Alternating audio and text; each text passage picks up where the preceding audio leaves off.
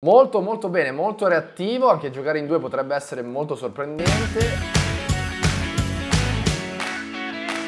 Oggi vi parlo di un prodotto che ha dell'incredibile, perché se siete collezionisti sarete anche amanti, di solito la maggior parte è così, sono amanti del retro gaming. E io giusto 3-4 settimane fa mi sono chiesto, mi piacerebbe avere nella tv della camera un qualcosa per giocare a tutti i giochi vecchi. Parte questa collaborazione con vintgame.com e mi mandano un prodottino veramente veramente carino. Questa Game Stick con attacco HDMI, all'interno ci sono un po' di giochini, un po' di emulatori, un po' di giochini diciamo 10.000 giochi. Io l'ho provata per una settimana e qui vi dirò i pregi e i difetti. Questo video in collaborazione con loro, ma io sono stato molto chiaro, dirò tutto quello che eh, penso e sono stati molto gentili ad elucidarmi su delle questioni di questa Game Stick. Al suo esterno trovate la foto del Game Stick con il pad, con le varie eh, caratteristiche. A dietro troviamo altre foto che riguardano la Game Stick e lo andiamo ad aprire. Io l'ho già aperta, quindi se vedete cose strane dentro è perché le ho rimesse dentro, ragazzi. Game Stick all'interno, dentro troviamo i due pad che sono molto simili a quelli della PlayStation 4, PlayStation 3, sono più leggeri ovviamente di quelli originali perché non sono pad PlayStation si agganciano poi alla Game Stick. Eccola qui la Game Stick, ragazzi 4K, è mm, abbastanza lunga. Qui dentro ci va la chiavetta USB che vi danno in dotazione, quindi la andiamo a inserire, molto semplice da usare, cavetto mini USB.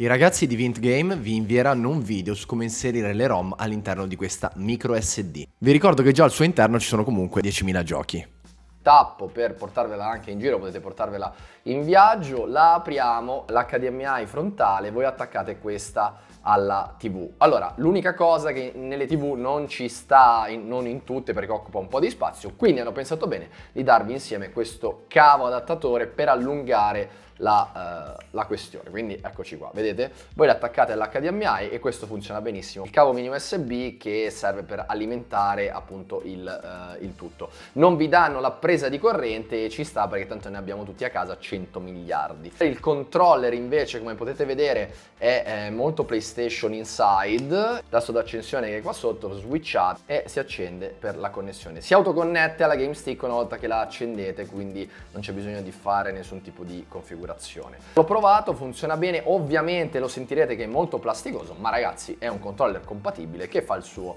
sporco dovere. Funziona con due batterie AAA che vi consiglio sempre, adesso queste qua non sono ricaricabili, ma vi consiglio di utilizzare le ricaricabili che vi lascio il link in descrizione per comprarne un bel pacchettone così ve le ricaricate e non vi finiscono mai. Molto semplice, andiamo a vedere dallo schermo cosa succede e il menu della GameStick 4K. Ecco cosa vedrete nel menu con i grilletti vedete? Andate a selezionare tipo la storia, quello che ho giocato io, che ho provato in questi giorni, preferenze, cercare, qua cercate eh, il gioco nella, nella Game Stick.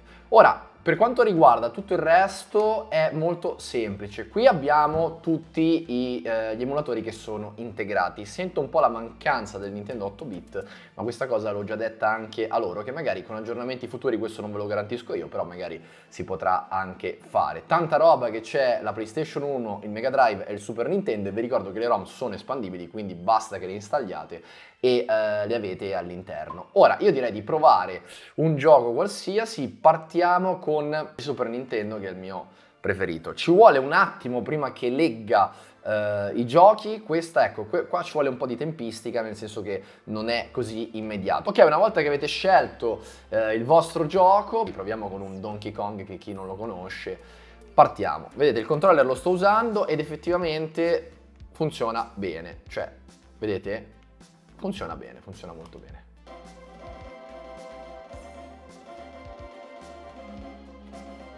Vedete ragazzi che sto giocando Donkey Kong e guardate, molto molto reattivo, funziona molto bene. Per tornare al menu vi faccio vedere anche, questa è mode e potete salvare anche salvastato, vedete potete salvare direttamente la partita, slot di salvataggio e decidere eh, quale slot di salvataggio salvare, salvastato e siamo a posto. Se poi noi facciamo questa cosa qua, andiamo in mode e facciamo carica lo stato, lui riparte da dove abbiamo salvato. Figata perché una volta non c'era questa cosa, si, si bestemmiava abbastanza forte. Ora direi di uscire al menu, come si fa? così, si fa, esci da eh, RetroArch, proviamone un altro, poi passerei a un'altra console così vediamo se funziona tutto, proviamo le, boh no ho sbagliato, vabbè volevo provare le Ninja Turtles però ho cannato totalmente. Comunque avete visto anche la rapidità con cui parte, quindi sembra abbastanza fico, sembra molto fico, intanto io ringrazio i ragazzi che me l'hanno mandata da recensire perché eh, la desideravo da parecchio. Figaggine, figaggine. Vabbè, usciamo che l'abbiamo capito, quindi per uscire Così. La PS1. Che ne so. Ah, Blade. Io ci giocavo a Blade. Proviamo Blade. Marvel e Activision, ragazzi. Già Marvel ai tempi. Eh, bombetta atomica. Vediamo come risponde il controller con questi giochini anche un po' più pesanti per l'hardware che è lei. Vediamo un po' cosa succede. Per ora risponde molto bene. Normal. Start game.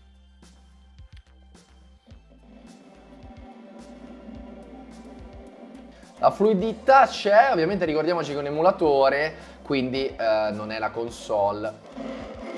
Ok, direi che funziona bene, c'è qualche problema nell'audio che si sente un po' gracchiare, ma quello sia, credo sia dovuto dall'emulatore. Proviamone un altro ragazzi, vediamo cosa succede con un altro. Ah, sentite, c'è un rallentamento dell'audio. Questa cosa mi hanno detto che può capitare se la ROM è buggata, bisogna provare delle ROM anche differenti alle volte, quindi eh, abbasso un po' il volume che sennò non mi sentite. Io su Crash ho avuto qualche problemino che mi sono fatto spiegare, ossia eh, il fatto che ci sia stato qualche rallentamento anche, no? E mi hanno detto, mi hanno spiegato, come vi spiegherò a fine video, che dipende anche dalle ROM che ci sono installate, perché ovviamente non è che possono provarle tutte quante, ognuna il gioco tutto intero. Le ROM si trovano anche in giro, alcune sono buggate, questo ve lo garantisco anch'io perché io RetroArch sull'Xbox e può succedere. Capita, può capitare. Vedete? Questa ad esempio è una ROM buggata, questa, vedete che è sparito anche Crash qua. Questa è una ROM buggata che andrebbe sostituita. Proviamo, che ne so, Wipeout, che è un bel gioco veloce. Vediamo come funziona. Capiamo se è un problema generico della ROM, cioè degli emulatori o delle ROM, perché può essere che sia un problema delle ROM, eh, ragazzi, veramente come mi hanno detto loro probabile. Io però devo dirvi le cose come sono, quindi... No, ragazzi, Wipeout funziona molto molto bene. Ah, sì, sì, funziona bene. Quindi sono le ROM buggate che eh, andrebbero sostituite in realtà. Quindi, raga, dovete anche un po'... Poi comunque loro vi mandano le istruzioni su dove trovarle, come installarle, eccetera, eccetera. Eh? Non vi lasciano nel panico, state tranquilli. Ragazzi, ricordatevi sempre che stiamo emulando dei giochi su una Game Stick grande come due dita e eh, una volta c'era bisogno di una console, eccetera, eccetera. Quindi si parla sempre di emulatori a tutto tondo, eh? però devo dire che qualitativamente, vedete, già questo non ha problemi rispetto a Crash, quindi Crash era una ROM, diciamo, buggata. Ora direi di provare, che ne so, tipo il MAME, tipo Street Fighter, proviamo Street Fighter. L'emulatore del MAME, e il MAME ha una quantità di giochi industriale, tra cui Metal Slug, tra cui un sacco veramente di giochi. Guardate che roba, funziona da paura, ve lo faccio vedere e guardate, rapidità del controller, ma dai raga, bellissimo, bellissimo, capolavoro. A parte che faccio schifo, però detto questo, molto molto bene, molto reattivo, anche giocare in due potrebbe essere molto sorprendente e figaggine. Il controller funziona da paura, i tasti funzionano tutti e quindi direi Ragazzi, andiamo alle conclusioni finali, se no mi diverto troppo. GameStick funziona molto bene, abbiamo avuto qualche problemino sui giochi PlayStation, ma mi è stato detto che può dipendere dalla ROM. Comunque loro vi daranno assistenza, vi daranno anche i siti dove scaricare la ROM.